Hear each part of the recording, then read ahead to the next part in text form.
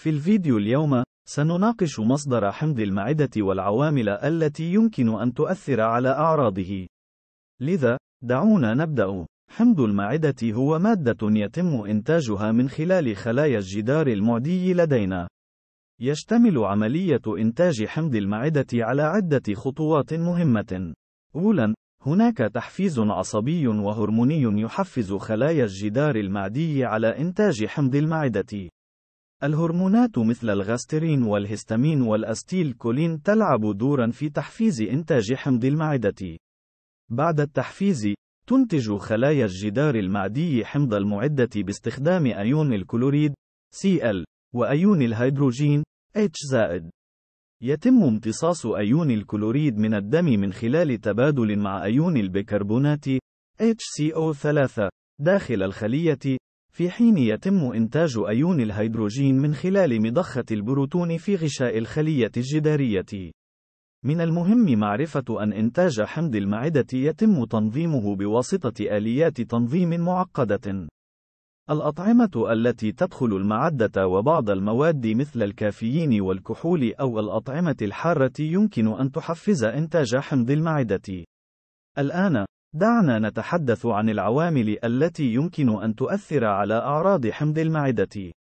نمط الأكل غير الصحي مثل تناول الطعام الحار والدهني والحمضي أو الغازي يمكن أن يثير أعراض حمض المعدة بشكل أسوأ.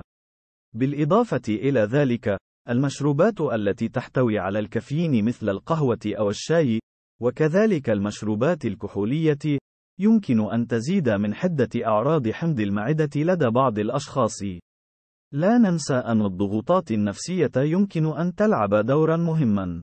على الرغم من أن الضغوط النفسية ليست السبب المباشر لحمض المعدة، إلا أنها يمكن أن تؤثر على الجهاز الهضمي وتزيد من إنتاج حمض المعدة وتفاقم الأعراض الموجودة. ليس هذا فحسب، بل هناك عوامل أخرى يمكن أن تسبب أعراض حمض المعدة، مثل عدوى بكتيريا هيليكوباكتر بيلوري، واستخدام بعض الأدوية، أو حالات طبية أخرى. هذا هو ملخص المعلومات حول مصدر حمض المعدة والعوامل التي تؤثر على أعراضه.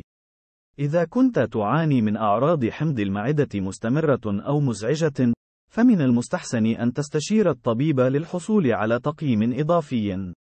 شكرا لمشاهدة فيديونا اليوم. إذا استمتعت بهذا المحتوى، لا تنسى أن تعجب وتعلق وتشترك في قناتنا للحصول على أحدث الفيديوهات حول الصحة والمعلومات المفيدة الأخرى.